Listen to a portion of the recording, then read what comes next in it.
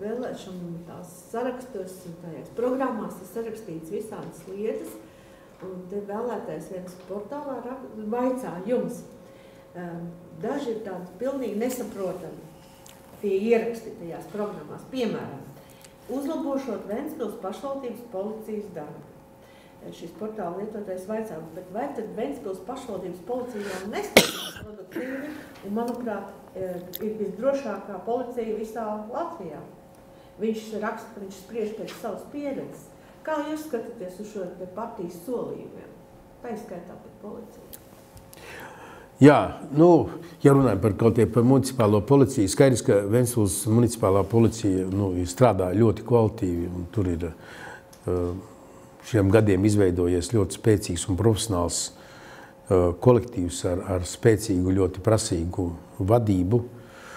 Un uh, tas, ka policija var ierasties trīs minūšu laikā, jebkurā pilsētas vietā uz izsaukumu, tas, protams, nodrošina augstu sabiedrisko kārtību un arī drošību pilsētā. Uh, Policija pilnībā nodrošināta ar transportu, viņiem ir normāla darba samaksa, viņi ir uh, ekipēti, viņi ir apmācīti, viņi visu laiku tiek apmācīti. Viņi nav tā, ka viņi tur tikai. Uh, Un es jums pateikšu tā, pēc likuma par sabiedrisko kārtību, zinat, kas atbild? Valsts policija. Tad, tie, ieskaitot esošos un bijušos ministrus, viņi atbild. Bet, ja skatāmies, kā ir patiesībā, tad par sabiedrisko kārtību reāli nodrošina municipālā policija. Un zinat, kā municipālā policija radās? Nebija doma. Pirmā mana doma bija, nu, priekš kam taisīt divas policijas. Es aizbraucu pie Čevera un es saku, Ziedoni, priekš kam? Un Jūs, jūs finansējat, jums ir apģērbs, tas, tas, nu, jums mazāks algas. Nu, cilvēki negrib nākt pie jums strādāt. Mēs piemaksāsim. Mēs piemaksāsim algas, jūs visu ekipējumu. Mēs nopirksim mašīnas. Nu, būs spēcīga policija, kas tikai vienosimies, ka, nu, lai nav tā, mēs sākam finansēt, jūs noņemat finansējumu. Tāpēc, jā, nu, tā arī nevar darīt. Nu, tā, tā, tā, tā, nē, tas nedara. Nu, labi. Nu, un, un tā situācija pilsētā bija tāda, ka pie manis nāk, nu, teiksim, nu, tepat pilsētas centrā bārā, saka, ienāk kaut kādi strīpainie ar trim šitām te adidas svītrām, biksēm, paīsu frizūru un nevisai inteliģentu stāju. Ienāk, paņem alkoholu, turpat izdzer, nesamaksājot aizēju. Sauc policiju valsts, viņi nebrauc. Es saku, a, kāpēc jūs nebraucat? A, viens no tiem policistiem mums bail. Kas tas tāds? Mašīnas liek uz trotuāriem. Kā patīk? Saprot? Uz ielas maina naudu, uzplīst tur ārzemniekiem. Nu, šausmas. Nu, un tad tika pieņems lēmums, ka šis bardaks jābeidz. Un tika izveidota municipālā policija, kurā pirmajā, pirmo no sākuma bija viens nazis, kas ar westernām cīnīgām metodēm pilsētā iedibināja kārtību.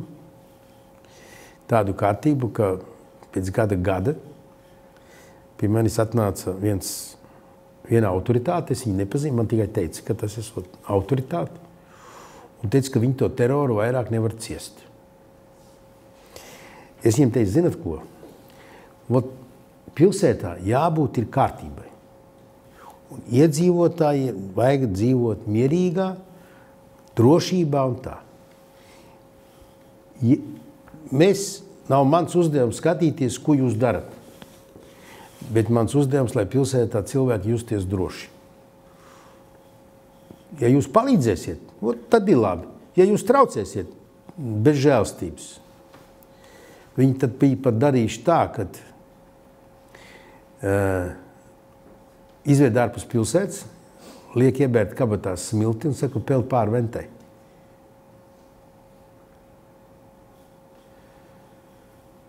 Tas izlūdz, ka nē, viņš nepeldēs. Viņš saka, un, un tik tiešām iestājās miers un, un saticība, jā, un, un, un tā. Tā kā, nu, diemžēl tie laiki bija tādi, kad vajadzēja vai nu, vai nu ir tā vara, vai nav tās varas. Nu, tagad, Tagad tas vairs prātā nevar ienākt, un paldies Dievam. Svarīgi nenolaist to līmeni uz leju. Tas prasīgums jau ir ārkārtīgi svarīgs. Jā. Nu, un, starp citu, tur es vienu otru tur paskatīju, skrēju cauri tām programmām, vai ne, domāju, kādas idejas paņemt. Jā. Uh, es negribu tagad runāt par neko tādu, bet nu, teiksim, vienā no programmām apgalvot, ka 25 stagnācijas gadi, tas nozīmē, ka visi palicis tā kā pirms 25 gadiem Ventspēlī. Ja? Sākot ar, ar sporta, sportu, un kultūru un, un veselību, un, un bērndārziem un skolām. Nu, to var apgalvot tikai tāds, kas dzīvojas Briselē un, un Rīgā varbūt iebraucis garām braucot. Bet atkal, tas ir vēlētāji jau vērtējums. Bet es, saku, es, es paskatījos no tāda viedokļa, varbūt kaut kādas nu, idejas vai kas aizgūt. Kā, nu, tas jāpiet, es jau pieeju tam, kā, ka tas ir mūsu paši cilvēki, kas to, nu, viņi, nu, viņi ar labām domām, nu, kāda problēma.